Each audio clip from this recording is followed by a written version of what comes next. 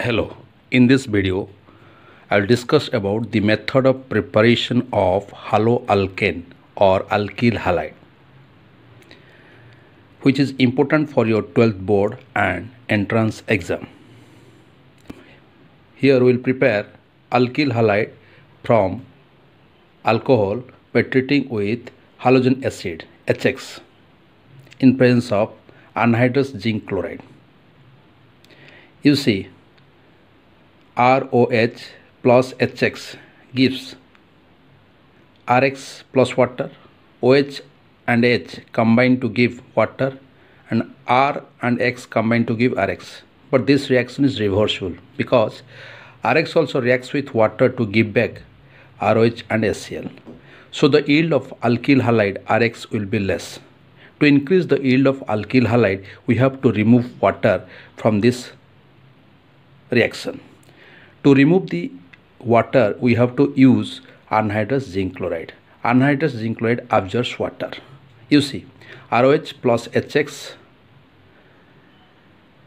in presence of anhydrous zinc chloride gives RX plus water. You know there are three types of alcohol primary alcohol, secondary alcohol, and tertiary alcohol. Primary alcohol on treatment with Lucas reagent gives no turbidity at room temperature. However, it gives turbidity or milkiness if the reactants are heated. On heating, primary alcohol gives turbidity. See, this is a secondary alcohol on treatment with Lucas reagent gives turbidity in 5 minutes. Whereas tertiary alcohol reacts with consternate Cl gives turbidity immediately. Here, if you won't give anhydrous zinc chloride then the reaction occurs. So the reactivity order towards Lucas reagent can be written as shown on the screen. Secondary alcohol is in between tertiary alcohol and primary alcohol or you can say tertiary alcohol is more reactive than secondary alcohol, secondary alcohol is more reactive than primary alcohol.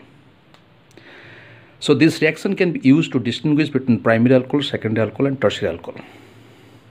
CH3OH plus Lucas reagent gives CH3Cl plus water.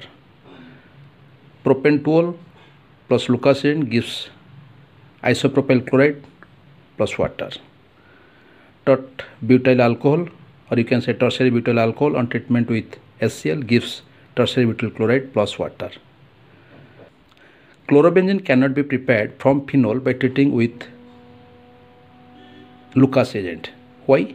Because in phenol the lone pair present on oxygen forms partial double bond with the benzene ring. Between C, C and O, you will find partial double bond. As there is partial double bond, it needs more energy to break or it needs more energy. So, phenol does not give chlorobenzene by treating with Lucas reagent. Thank you.